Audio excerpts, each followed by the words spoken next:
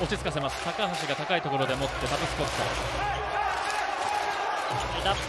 ゴメスのスリー。コーナーから来ました。アベール・ゴメス・デリアーノ、はい、も勝負どころでのスリーポイント非常に今シーズンいいところ出ています。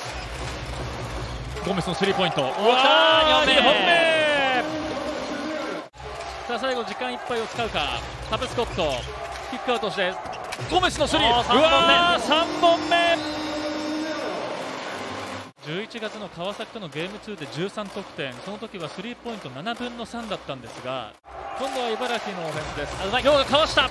ここもかわす。キックアウト。ゴメスだ。さあ。4本目4本目